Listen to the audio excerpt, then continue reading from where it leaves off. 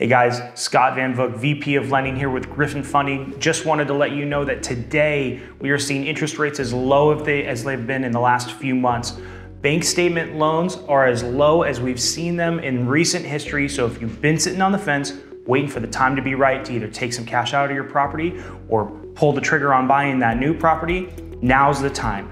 Email us info at Griffin Funding and we'll get you set up with one of our senior loan officers today.